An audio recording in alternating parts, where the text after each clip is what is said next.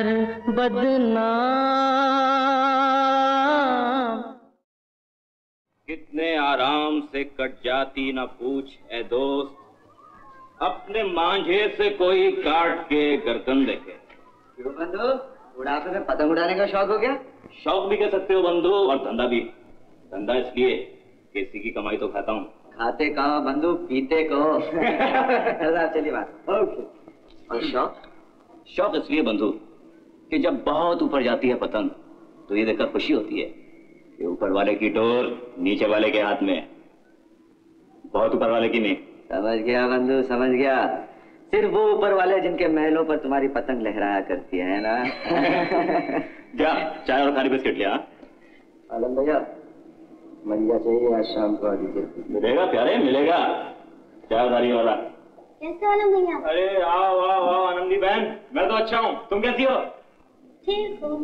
और शंकर भैया? कैसे ही? कुछ इलाज चल रहा है या नहीं? हाँ चल तो रहा है।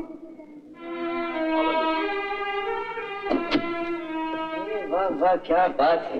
बंधु अरे क्या कर रहे हो? अभी अभी तो तुमने चाय का ऑर्डर दिया। आनंदी धंधा करती है। हम सब जानते हैं। लेकिन आप क्या करें? घर वाला धन का महाराज छह महीने से बिस्तर पर पड़ा है।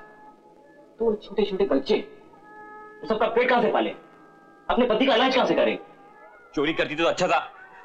भीख मांगती तो क्या उसकी ज़्यादा इज़्ज़त होती बंधु? अरे कोई कला बेचता है कोई ईमान कोई जमीर। फ़र्क सिर्फ़ इतना है कि आनंदी शरीर बेचती है बंधु। बंधु मैं तुम्हें एक अमानत दे जाना चाहता हूँ। तुमने इन गरीबों की देखभाल की ज़िम्मेदारी ली है। ये मेरी कविताएँ मेरी नज्में इन्हें अब मुझे यहाँ रखने का कोई हक नहीं। जिसने ये लिखी थी, वो कोई और था, मैं नहीं। जो ज़िंदगी की लड़ाई में हारकर शराब में डूब गया, भटक गया। लो, संभालो क्या बात है? बड़े परेशान नज़र आ रहे हो? जी, आप यूनियन की जिम्मेदारियाँ वापस ले लीजिए। मतलब? इससे और देखा नहीं जाता। मैं तो घबरा गया हूँ ये, ये गरीबी देखकर। पहली बार देख रहे हो? पिछला जी अब अपनी जगह पे आ जाइए मैं वापस जा रहा हूँ। चंदर तुम अब वापस नहीं जा सकते। क्यों नहीं जा सकता? क्या जानते आप मेरे बारे में? बेटा मैं सिर्फ़ इतना जानता हूँ कि जिससे दुख, दर्द देखा नहीं जाता ना तो इसका इलाज वही कर सकता है। उसका विवेक उसे इस दुख, दर्द से मुँह मोड़ के जाने नहीं देता। विपिनलाल जी क्या बता सकते हैं? क्यों है ये गरीबी? क्यों इतनी तकलीफ़ में है लोग? इसके कारण तो कई हैं बेटा, लेकिन सबसे बड़ा कारण ये है कि कुछ गिने चुने लोग इस देश का सब कुछ खरीद लेना चाहते ज़मीन ये धरती ये ये, ये सब कुछ। क्या ये सब कुछ खत्म नहीं किया जा सकता? वही तो हमारी कोशिश है चंदर। जिस दिन राजनीति करने वाले पावर में रहने के बजाय जनता की भलाई का सोचने लगेंगे या फिर जिस दिन जनता ये जान जाएगी कि उसके असली नेता कौन है और नकली नेताओं को खत्म कर देगी। उसी दिन ये सपना पूरा हो। पता नहीं ये इनकलाब कब आएगा कैसे आएगा? यहाँ के लोग भी तो इतने शांति परस्त हैं कि उन्हें खाने को ना मिले। तो खाने की दुकान के सामने बैठकर भूखे शांति से बैठ जाएँगे।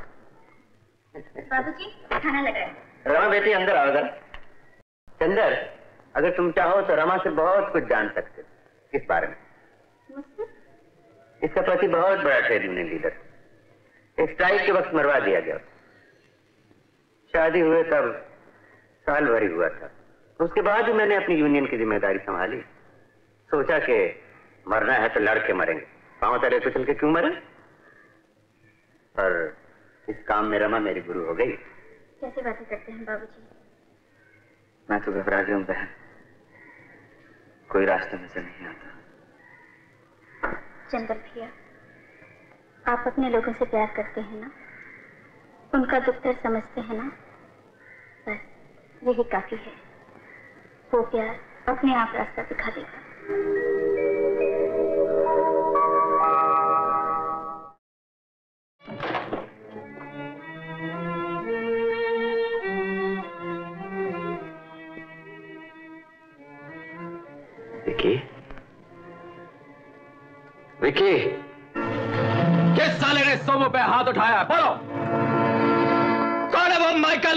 माँ का दूध आजमाना चाहता है आजा सामने।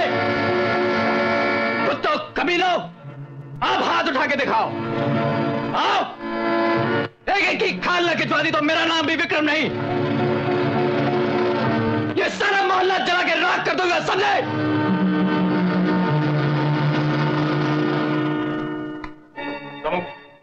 चल अब तुझे एक मिनट भी नहीं रहने दूँगा। विकी शांत हो जा विकी बैठ मैं यहाँ बैठने नहीं तुझे ले जाने आया हूँ। चलो चल। मेरा अब जाना बहुत मुश्किल है रे। मतलब? मतलब तू नहीं समझेगा विकी इन लोगों के साथ कुछ दिन रहता है तो इन लोगों के साथ? इन लोगों के साथ रहने की निशानी तो तेरे बदन पर देख रहा हूँ। ये तो मेरे प्राश्चित के निशान है। फालतू बातें मत कर Somu come on get up now you coming with me मैंने कहा ना विकी पिछले जीवन में लौटना मेरे लिए नामुमकिन है। जान सकता हूँ क्यों? विकी कितनी बार कार में आते जाते तुमने देखा होगा। कचरे में से बच्चे खाना चुनकर खा रहे हैं। क्या हालत होगी देश की? कहकर तूने मुँह घुमा लिया और गाड़ी लेकर निकल पड़ा। और थोड़ी देर में सब कुछ भूल गया। अगर किसी दिन गाड़ी से उतर के उन्हें नज़दीक से देखने जाता तो शायद दोबारा फिर कभी गाड़ी में न बैठ सकता। मेरे साथ ऐसा ही हुआ है रे। मैं गाड़ी से उतरा और उन्हें नज़दीक से देखने गया और फिर दोबारा वापस गाड़ी में न बैठ सका। ओ, इसका मतलब ये लोग आज ज़्यादा प्यारे हो गए नहीं रे इनसे प्यार करके मैं ज़िंदगी से प्यार करना सीख गया। बस बस और डायलॉग बोलने की ज़रूरत नहीं। साफ़ साफ़ बता मेरे साथ चलेगा या नहीं? विकी तू नहीं आ सकता। मेरे पास यहाँ। जवाब मिल गया Sumo. Thank you thank you very much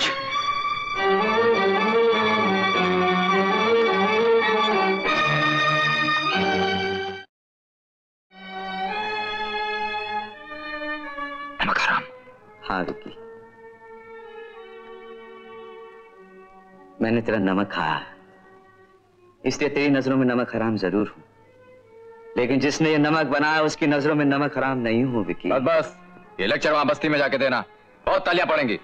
ए कैसा है तू? अच्छा हूँ। ये नहीं पूछेगा? मैं कैसा हूँ? ज़रूरत क्या? अच्छा ही हो गए सैकड़ों दोस्त हो गए हैं।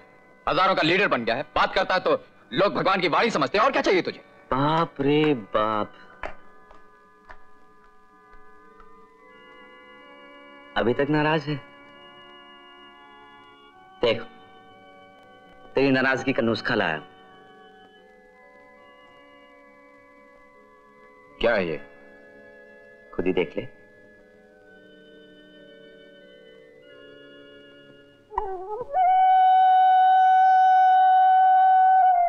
माँ आई है?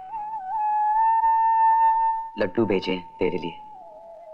और मेरे लिए सिर्फ़ एक चिट्ठी भेजी सरला ने लिखी। लिखा है? विक्की भैया से पूछे बगैर एक भी लड्डू मत खाना। तो माँ को इसके बारे में अभी नहीं पता चला? नहीं। अभी तो नहीं। यहाँ आएगी तो तेरे मेरे बीच जो हुआ सो हुआ। लेकिन अगर माँ को इसके बारे में पता चला तो याद रख मुझसे बुरा कोई नहीं होगा। तुझसे अच्छा भी तो कोई नहीं मिला दोस्त। शराब दोस्त मत कह मुझे। तू अभी तक वैसा का वैसा ही है। बोला मासूम और मैं। इतने से दिनों में अचानक बड़ा हो क्या हूँ। अब वो उम्र ही नहीं रही कि छोटी छोटी बातों पर अपने दोस्त से रूठ जाऊँ नाराज़ हो जाऊँ।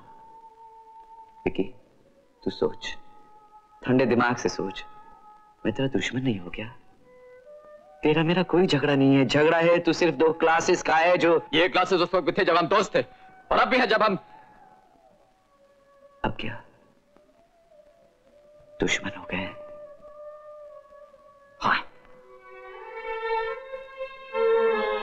लेकिन मैं चलूँ।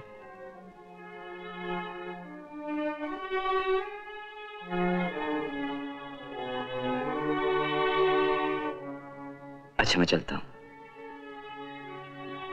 नमस्ते। नमस्ते। आप सोमू जी है ना? विकी के दोस्त?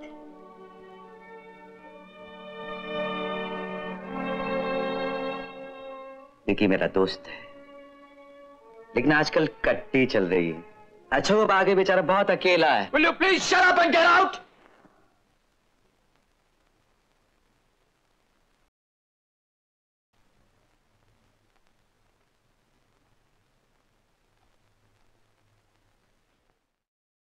आज हड़ताल को पूरे 33 दिन हो गए हमने तीन दिन की ताकत को 30 दिन तक खींचा।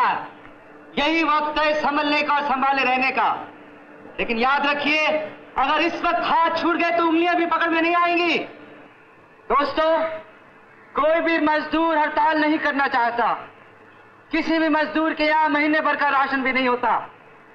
लेकिन हमें मजबूरन हड़ताल करनी पड़ती है। और हड़ताल से हमें बताना है कि जितना कमज़ोर हमें मालिक समझता है, उतने कमज़ोर हम नहीं है।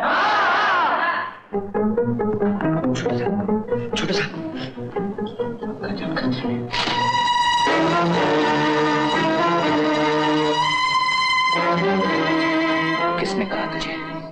वो हमको मत पूछे साहब। आपका दोस्त का जान बचा लो। वो बहुत अच्छा आदमी है। पहले बता कौन उसकी जान लेना चाहता है? वो हम नहीं बताएगा साहब। कौन है वो? आप खाली पीली टाइम बर्बाद करता है साहब।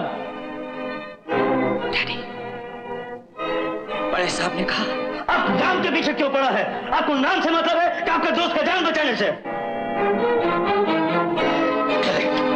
नहीं साहब। इस बार अपन दलाल बन के नहीं आए साहब। ज़िंदगी में पहला बार ईमानदारी का बात किया साहब। पैसा नहीं माँगता है।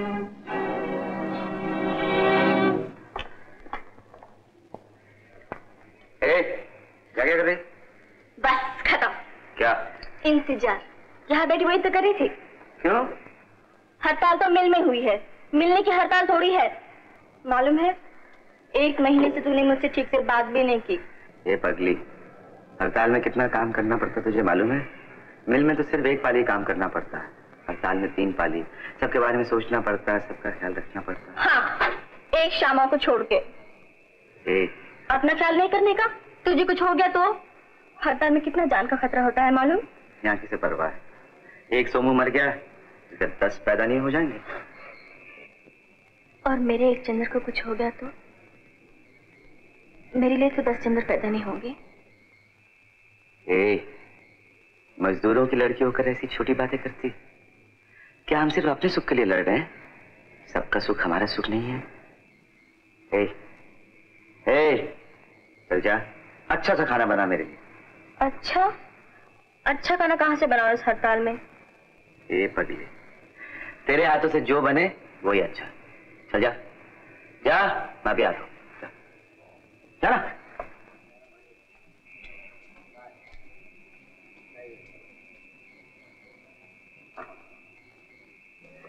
अरे भाई चंदर को किसी ने देखा सुबह से तार आगे पड़ा है उसकी माँ बहन आज आने वाली है।